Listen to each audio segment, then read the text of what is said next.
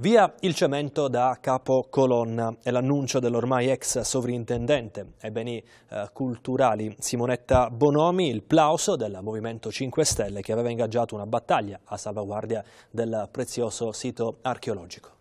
Il Ministero dei Beni Culturali ha fatto marcia indietro sulla colata di cemento che è stata posata sui resti di un foro di epoca romana nel parco archeologico di Capocolonna a Crotone, spiegando che quel cemento sarà rimosso subito dopo lo svolgimento dell'annuale pellegrinaggio mariano che si tiene a maggio.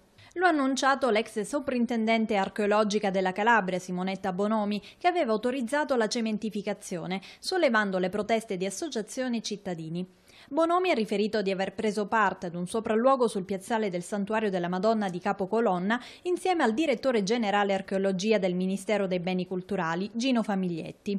È stato verificato che il cemento può essere rimosso grazie all'utilizzo di una macchina tagliasuolo. I reperti non verranno dunque danneggiati dalle operazioni, anche perché al di sopra è stato posto uno stato di ghiaia e pietrisco. I parlamentari del Movimento 5 Stelle Paolo Parentera, Dalila Nesce e Nicola Morra, a seguito delle affermazioni dell'ex soprintendente dei beni culturali Simonetta Bonomi affermano di celebrare con i cittadini il trionfo della cultura sull'ignoranza del governo. I 5 Stelle continuano. Sapevamo di avere cittadini e buon senso dalla nostra. Dopo mesi di protesta sui cantieri, per le strade nelle aule parlamentari, finalmente siamo riusciti ad ottenere una straordinaria vittoria, merito anche dei cittadini che hanno protestato a oltranza. Ora si dia spazio a proposte che rivalutino il patrimonio archeologico calabrese.